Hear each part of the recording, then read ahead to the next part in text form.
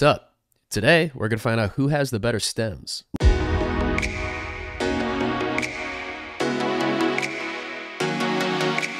Little side note, real quick. I am very sick right now, but uh, since the Serato update just came out, there's no rest for the wicked. So here we are. We ball regardless. I'm doing this for you guys. So please, for the love of God, like and subscribe because I am suffering right now. I have like massive cold chills. My throat's super sore. If you could see all the cough drops I've went through right now, brother. Back in 2021, if I'm not mistaken, Virtual DJ first came out with one of the first softwares, if I'm not mistaken, to actually do stem like separation live within a DJ software.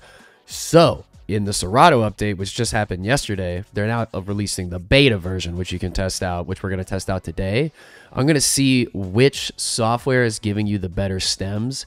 This definitely had people switching over to Virtual DJ about a year ago, just because it was one of the only ones that was offering like stem separation within a DJ software. But now that Serato just did it, there's a discussion to be had. So let's try to take out everything but the vocal here, and we're just going to jump right to the chorus. Cause you're hot, then you're cold. You're yes, then you're no. You're in, then you're out. You're up, then you're down. You're wrong when it's right. It's black and it's white. We fight, we break up. We kiss, we make up. Now let's see what it sounds like in Serato. Cause you're hot, then you're cold. You're yes, then you're no. You're in, then you're out. You're up, then you're down. You're wrong when it's right. It's black and it's white. We fight, we break up. We kiss, we make up. Now, the first things that I'm noticing is that they're both, yes, they're making it, but it sounds just like a DIY acapella, honestly, that you have gotten throughout the years with any other software. I will say, from this song in specific, I think Serato sounds much better at converting the acapella right now than Virtual DJ does. I feel like they heard what Virtual DJ did and then they just kept at it until they developed a better version of it. And I think that's what they've done here is especially with the acapellas, we'll see how the instrumentals sound. But I do think the acapellas sound significantly better in that first example. The reason why I wanted to do this with Hot and Cold though is because I'm going to drop in the actual studio acapella and you can still hear the difference. This is the chorus. Cause you're hot, then you're cold. You're yes, then you're no. There's still a little bit of resonance there. But in the studio acapella, Cause you're hot, then you're cold. You're yes, then you're no. You're in, then you're out. You're up, then you're down. there's the delay isn't getting taken out.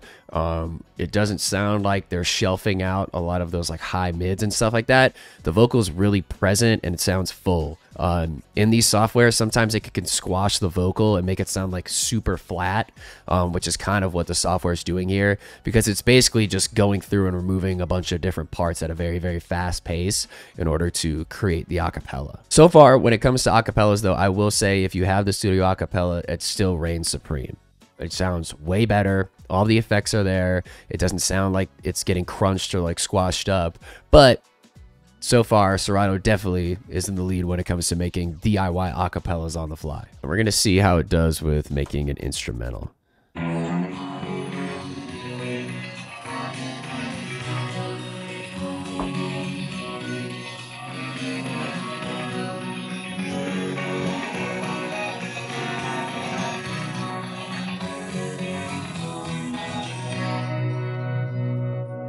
All right, now let's see how the instrumental sounds on the Serato version.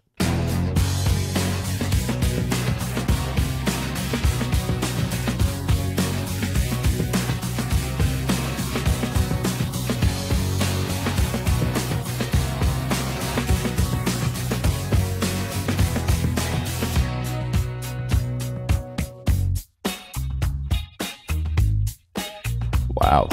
When it comes to like the choruses and the guitars and like crash cymbals and stuff like that that's getting added, it's still struggling sometimes. Like from what I'm hearing with the software, with like my Technicas on right now, it's still it sounds like that vocal's trying to like get through, but they're really just like pushing it and pushing it, pushing it down.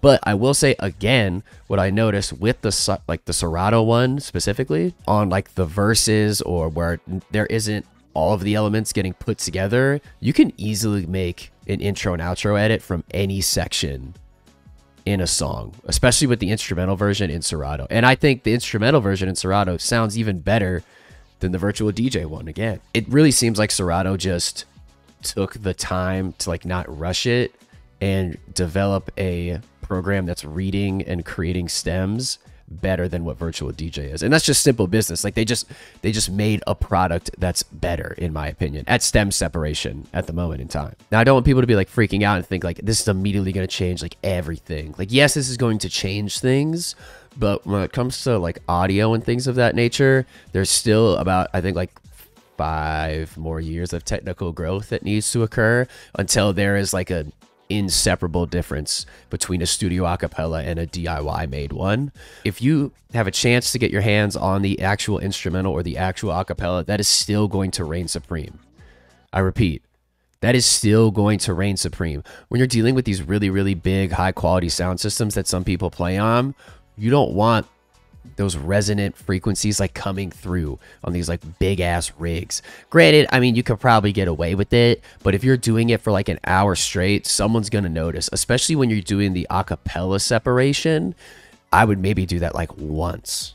Like if you're gonna do it. Now, granted, if you're just playing on like two QSC tops and you got like one sub and you're playing for like 100 people, you could probably just fire away and you'll be fine. But if you're playing on like the big, big rigs, I would definitely test it in those rooms before you do this. If I'm able to hear it through my headphones, those like resonant frequencies and how it still sounds like other stem separators out there, the higher end PA and audio is going to eat this shit up. If you're fine with that, that's great. I still I still think this is something that's incredible and will I probably use it? 100%. I think everyone needs to pump the brakes just a little bit. Is it amazing? Absolutely. It's incredible. 100%. Like they took what virtual DJs did or uh, I'm so ill right now. This is terrible. Serato took what virtual DJ did and they made it better.